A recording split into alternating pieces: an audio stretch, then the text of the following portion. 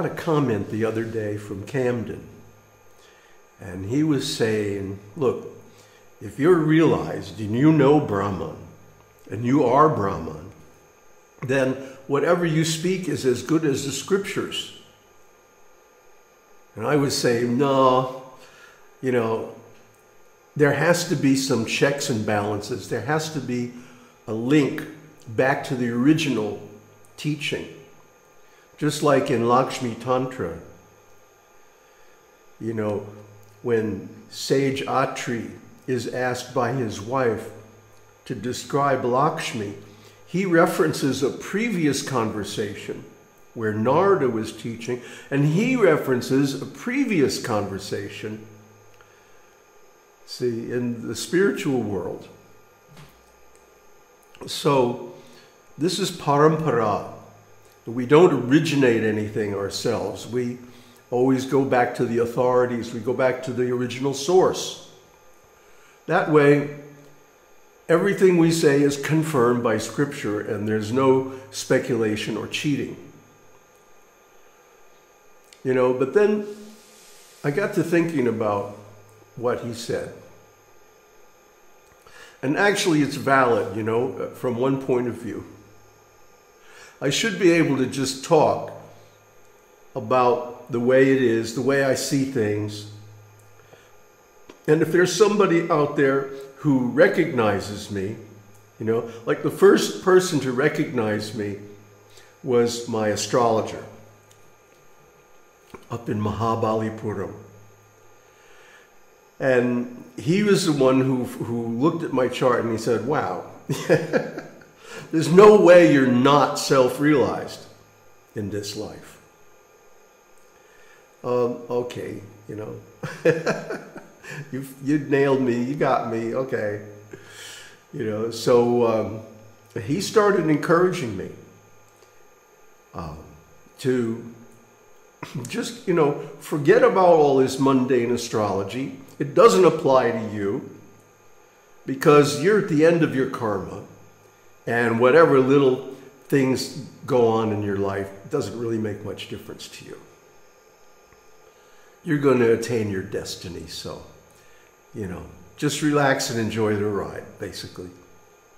And so that's what I've been doing more and more as time goes on. And I've come to the point where, okay, I really don't care, you know, how many views the channel gets or what people think of me or, you know, whether they believe what I say or they don't believe what I say. But if there's at least one person there who recognizes me and is willing to accept me for what I am and take my words as Shastra, then okay. At least I owe him, you know. See, the Western way of understanding is called avaroha, which means the ascending method. You get some knowledge and you pile some more knowledge and more knowledge and more knowledge on top of that, and you gradually climb up, you know, until the whole thing collapses and you have to start all over again. but realized knowledge isn't like that. Realized knowledge is called apurusheya means beyond human intelligence, and it's received from higher sources. And this is called avaroha, descending knowledge. So that's the Vedic system.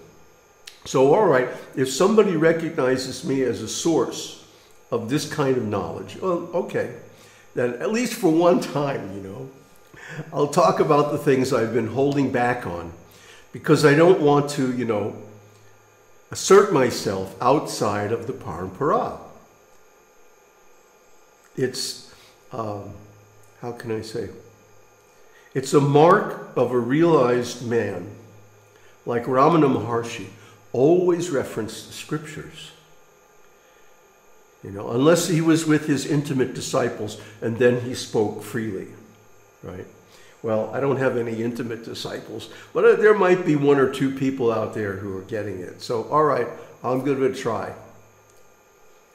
So, Avaroha. Start from the top. you know, we have our four levels Dvaitavada, Vishishta Dvaitavada, Vivartavada, and Ajatavada. So I'm going to start from my Ajatavada view. You know, when I lay down and go to sleep at night, I see a limitless ocean of consciousness. Consciousness is all there is. You know, anything that appears to exist that isn't consciousness is Maya. There's only pure, undivided, boundless, endless consciousness. Now, then, a tiny little portion of that consciousness gets covered over by upadhis. And then apparently an empty space occurs. And this is called the pure creation. This empty space is actually also consciousness, but it appears to be dark, void, empty. So within this empty space, then Brahman expands as Shiva Shakti or Lakshmi Narayan just depending on how you look at it. In either case, the process of creation is the same. The first duality is that between the consciousness, the object of consciousness, and the act of perception itself. Perceiver, the perceived, and the perception. This is the fundamental tri trinity. It's actually a trinity. It's not duality. It's a trinity. Huh? But for simple minds, we'll make it a duality. But anyway, that's the basic ontological principle, the basic principle of existence. And then that principle is expanded more and more. You see, like from Lakshmi as Vasudeva, three forms expand. Huh? Sankarshan, Aniruddha, and Pradyumna. Another triple. And then from each of those, now four forms, three more forms expand, and so on and so on and so on.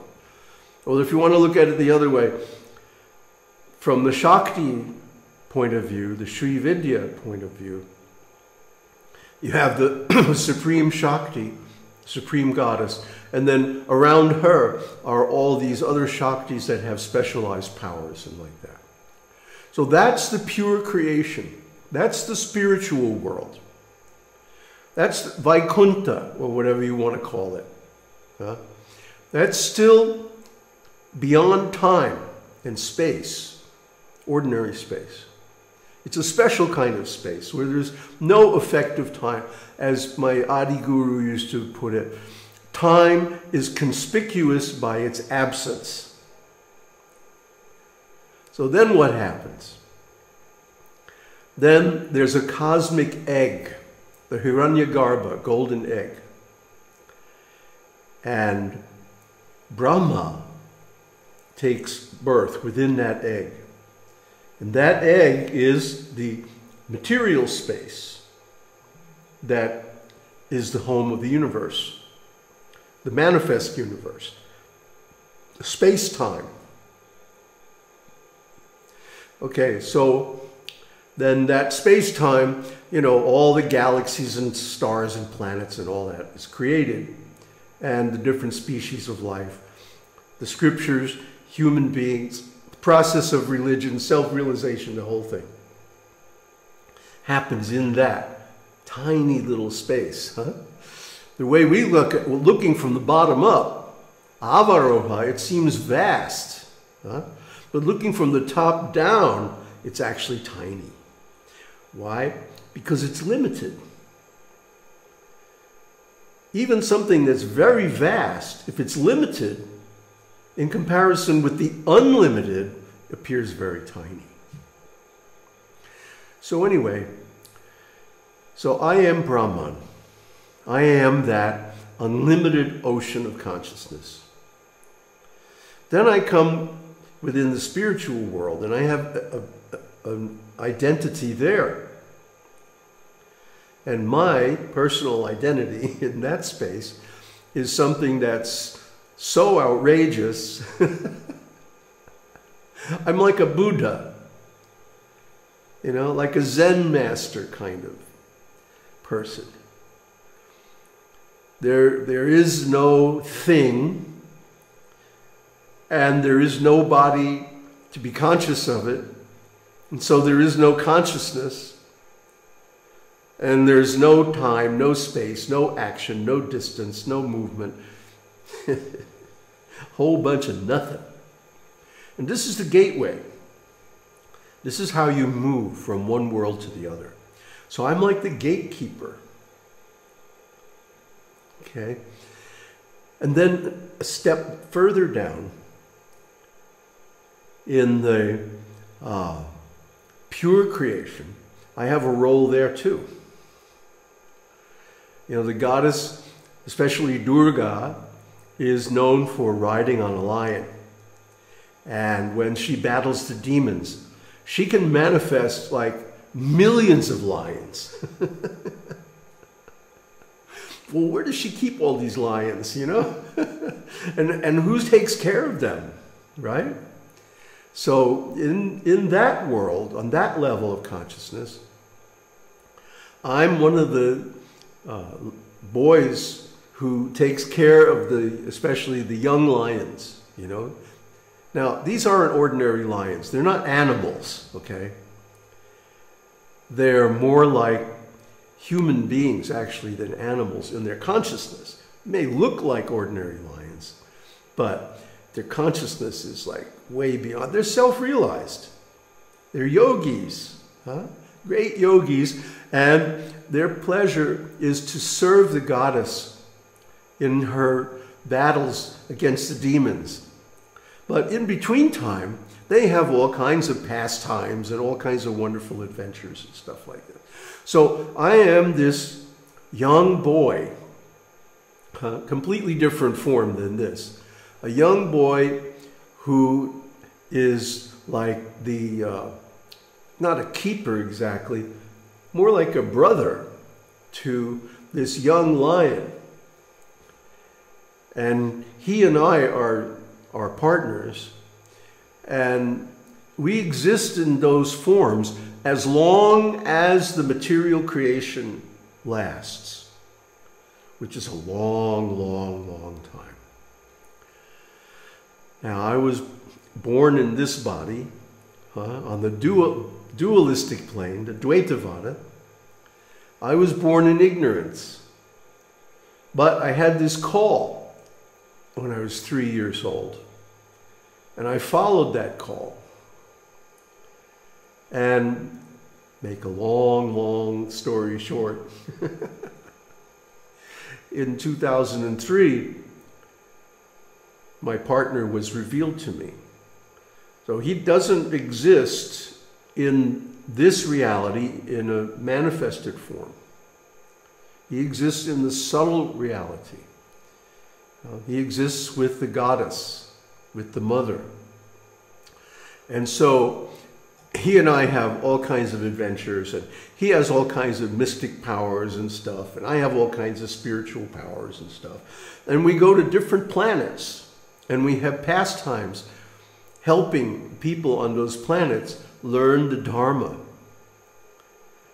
See, so this is our this is our life, you know. We're just young. He's he's a, just barely, you know, getting his mane.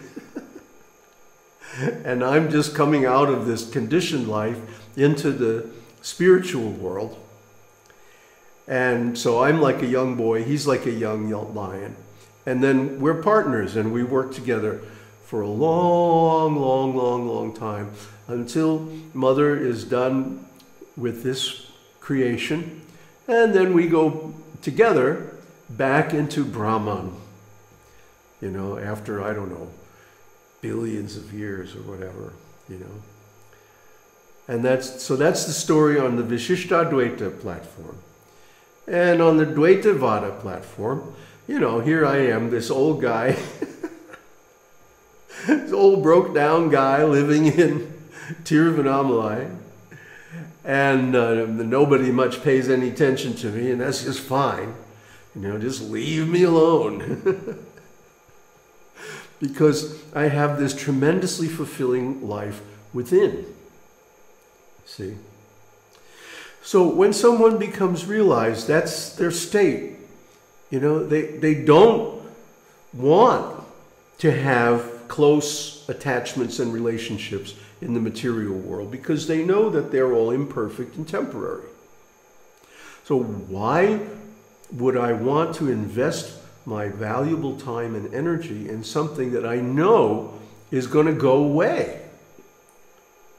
You know, I, I don't. And the quality of being on this planet, oh yeah, oh yeah. Jeez, I need a drink of tea here. This planet is undergoing a mass psychosis due to modern technology, politics, and trade opening up the knowledge of Advaita to unqualified people. Let that sink in for a minute. See, because of colonialism and the printing press coming to India, the books that were supposed to be held confidential and shown or given only to those who are qualified became printed and sold in the marketplace. And of course, people in the West, when they got hold of them, completely misinterpreted them. So basically, what you have is a bunch of people who are like barely in the Dvaitavada consciousness, messing around with Advaitavada. See? And of course, they're going to mess it up. Of course, they're going to mess it up. like they think, oh, really? Well, I'm Brahman, so that means I'm God. So that means I can do anything I want. I can believe anything I want, and it's true. See? And this is delusion. This is delusion. You look at that movie, The Secret. That's what they're teaching. You're God, so you can do, be, or have, or think anything you want, and it's all good. Nobody can tell you that it's wrong because you're God. You're the final authority. Right? This is the most pernicious bullshit, and it is, it is. Uh, well, look at what what is happening in America right now.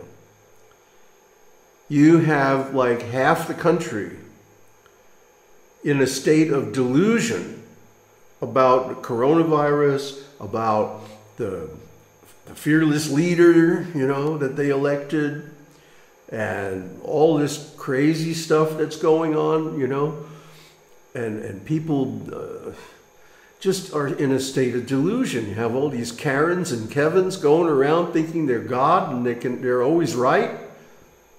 You know, this is nuts, right? And of course, it's been building for a long time, maybe 300, 400 years. But once the cat got out of the bag, you know, it can't be put back in again. So you have these completely unqualified people. I see it here in Tiruvannamalai all the time. People come to Tiruvannamalai, want to imitate Ramana, right? Or at least they want to parrot the things that he said. They don't want to live like him. They don't, and they can't be like him but they want to like use the cool stuff that he said to manipulate other people psychologically, and they do.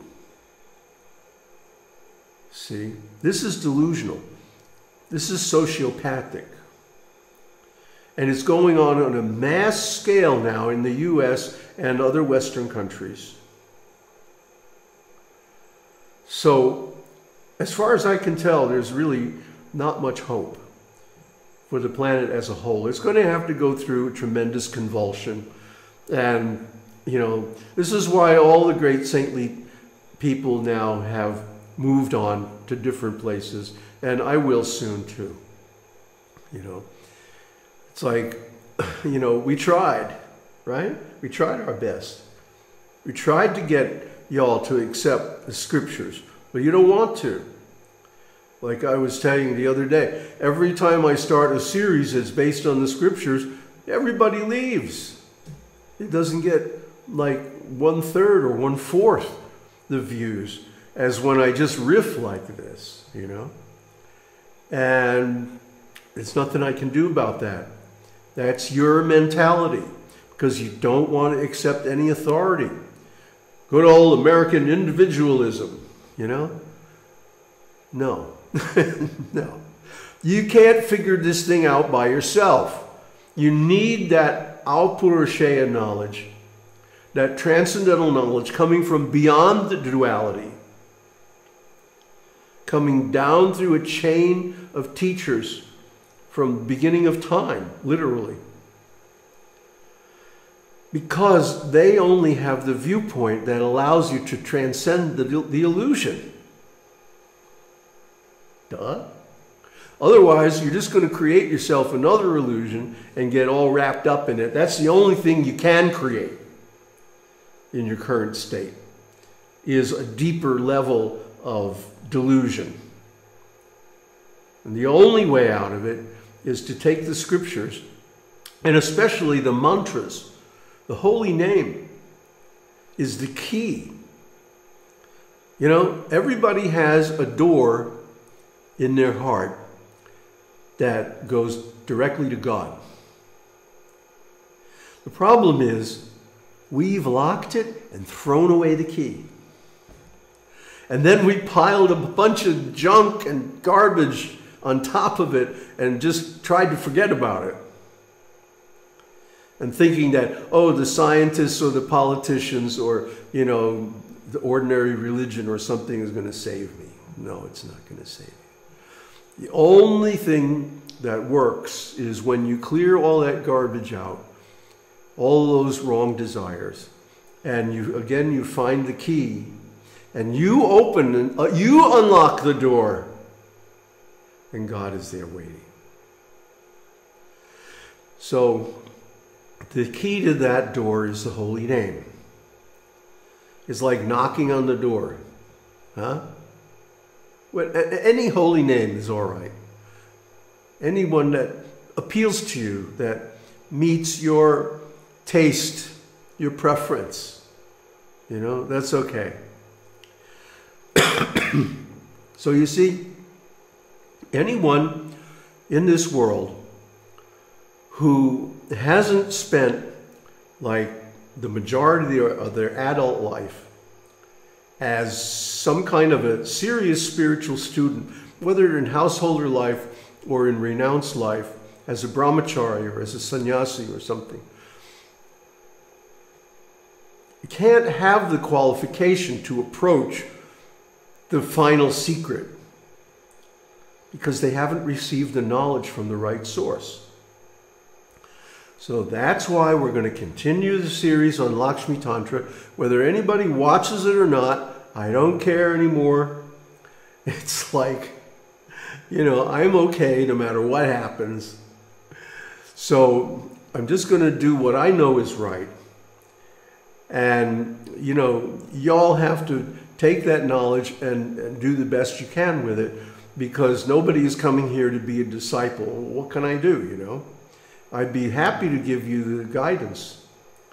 But uh, if you won't come and surrender, you know, I can't be a guru over YouTube or Zoom or whatever, you know. That's ridiculous. It's just not possible. So, well, I've gone way over time here. But I think you get my point, or I hope you get, you get my point. Um, and I'm always glad to hear comments from people, whether they're questions or um, comments, especially about um, those of you who have tried the methods that come from the scriptures and gotten some results.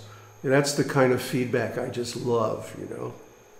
So, not that anybody is going to watch this long video, but anyway, that's how it looks from my point of view. Okay, Om Tat Sat, Om Shakti, Om.